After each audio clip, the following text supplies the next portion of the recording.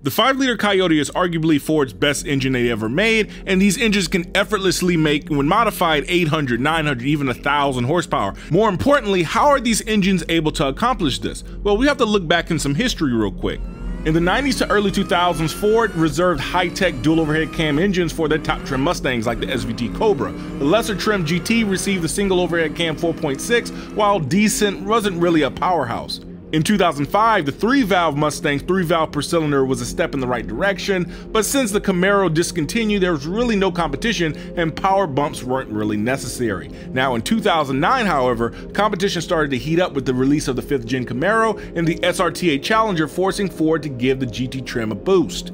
So Ford answered with the 2011 Mustang GT powered by a 5-liter dual overhead cam V8 making 412 naturally aspirated horsepower. This was the start of one of the most legendary tuning platforms and loudest cold starts on God's green earth. So there's five things you need to know why Coyotes make such crazy horsepower for their size. For starters, Coyote engines are very efficient, but not in the way of miles per gallon, but rather volumetric efficiency. For example, if an engine is 5 liters in displacement, it should consume 5 liters of air on the intake cycle. Now, in actuality, different engine configurations are going to consume either less or more. Pushrod engines like the LS typically in stock form do 88 to 90% volumetric efficiency. Now with the Coyote, the Coyote does over 100% volumetric efficiency because it's dual overhead cam and it can get the air into the cylinders much more efficiently. Next thing is Coyotes don't need a lot of effort to really make these cars fast. All they need is boost and fuel.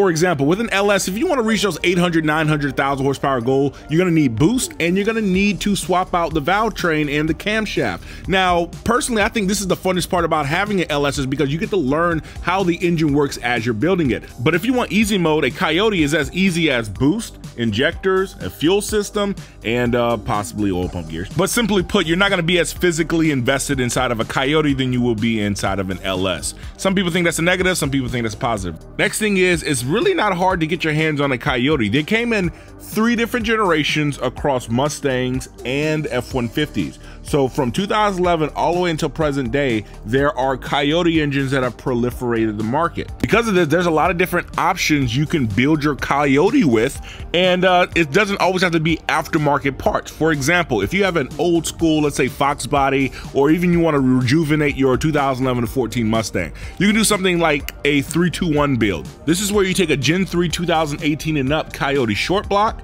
you put Gen 2 heads on top, which flow much better than the Gen 1 heads, but at the same time aren't Gen 3 heads with the direct injection where you need the newer computers. And also you pit Gen 1 valve train, so you have the Gen 1 cams and timing system where you can swap this into vehicles with the older Gen 1 PCMs. And really, Coyotes are just Legos at this point. I mean, you can pit multiple generations together, they all fit together, and then you have a cost effective but still stout engine build. Next, Coyotes love boost. I mean, really love boost.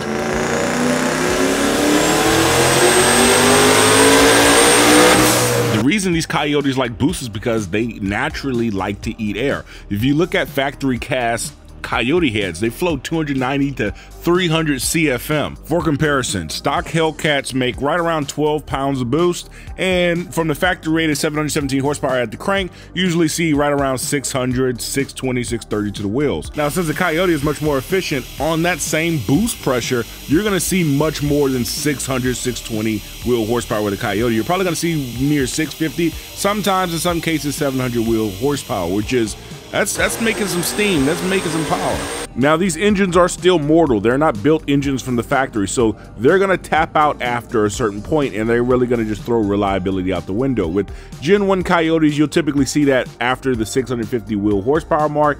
With Gen 2 engines and Gen 3 engines with those forged connecting rods, you'll typically see 800 wheel horsepower before. After that, you're not looking at reliability. You're purely just looking at to run a good number at the track or just to make a very, very good dyno number. And last but not least, a common thing that's overlooked when it comes to Coyote engines are their ability to push RPM out of the box.